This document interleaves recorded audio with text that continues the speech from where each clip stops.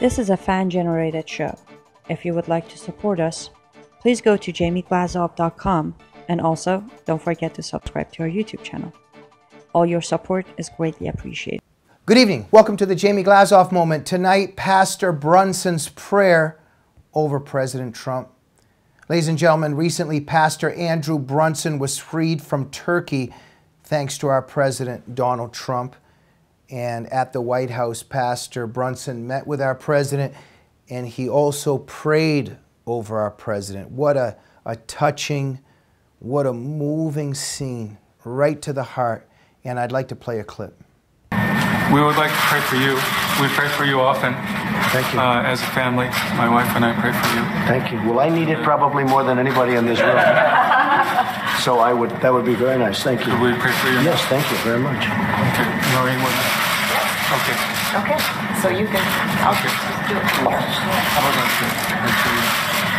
Lord God, I ask that you pour out your Holy Spirit on President Trump, that you give him supernatural wisdom to accomplish all the plans you have for this country and for him.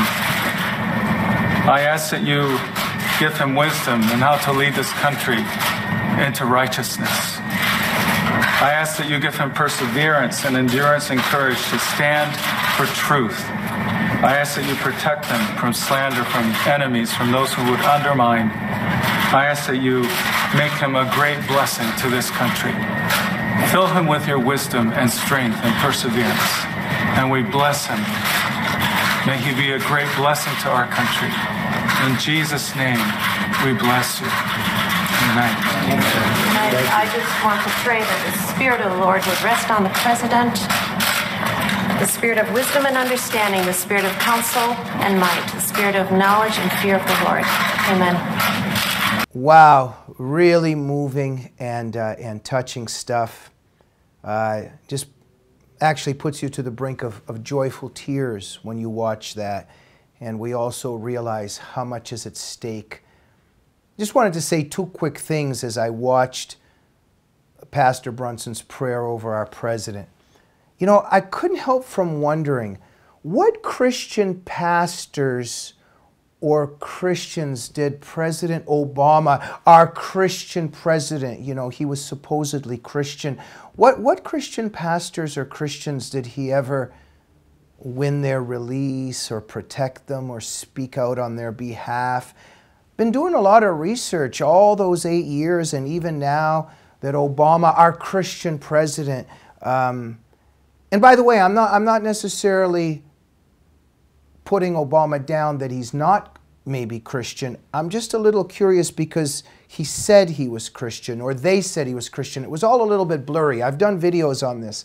But I'm just curious that since there was this thing about Pastor uh, Jeremiah Wright and then all that strange stuff at that church and that Obama supposedly Christian, when did he speak up for and have Christian pastors that were in prison throughout the world released? When did he speak up for Christians? I just can't remember. When did, actually, I'm trying to remember, when did a Christian pastor ever pray over him in the White House in that kind of setting? I don't remember anything like that. Do you? Hmm, I wonder why. I wonder if that has anything to do with that speech Obama gave in Cairo when he first came into office. Yeah, that speech in Cairo where he demanded that the Muslim Brotherhood occupy the front two rows. Hmm.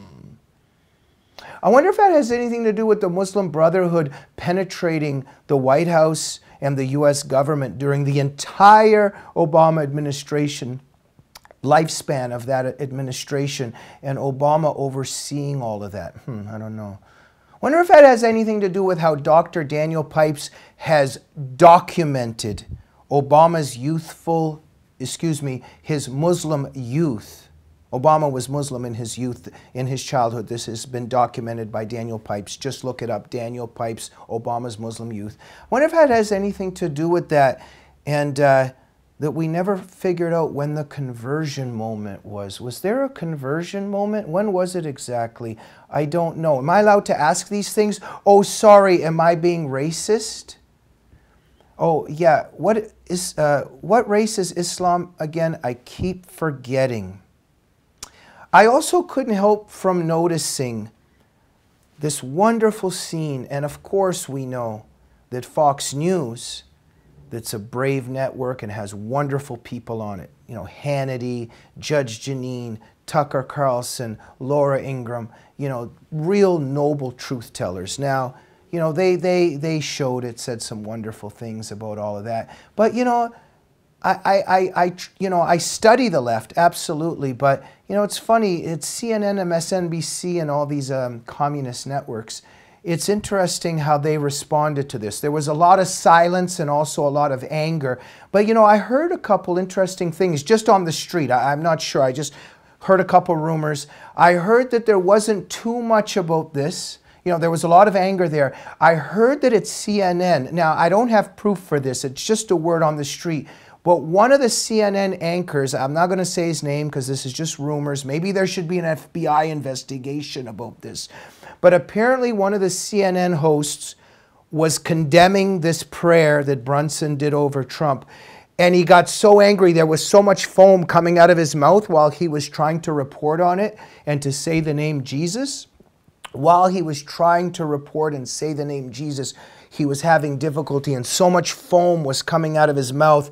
And then allegedly other CNN staff starts hearing him speaking in all these different ancient languages, like four or five ancient languages that this anchor doesn't even know. There was foam coming out of his mouth, and then his eyes had rolled to the top of his head. And uh, Others say that this CNN anchor's head turned 360 degrees while he was trying to report on it with so much anger and then they couldn't proceed and couldn't show it. Look, I don't know. I don't know if it's really happened. It's just stuff that I've overheard people talking about. Uh, maybe they should uh, they should do a, an investigation into this, maybe an FBI investigation, I don't know. Then I also heard that at MSNBC there were similar things going on. They were trying to, uh, you know, broadcast this and report on it, but the MSNBC anchors, there was actually several of them, just the teeth were chattering so much and uh, again, foam coming out of the mouth, and, and other reports of very strange things with this one anchor while he was trying to do it. In this other voice, they just heard, We are Legion, we are Legion, in this other voice.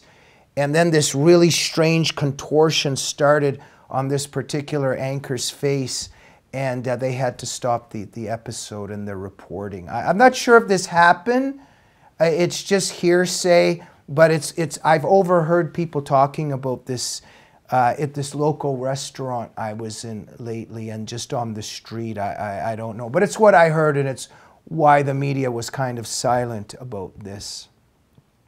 Ladies and gentlemen, anyway, what a beautiful moment.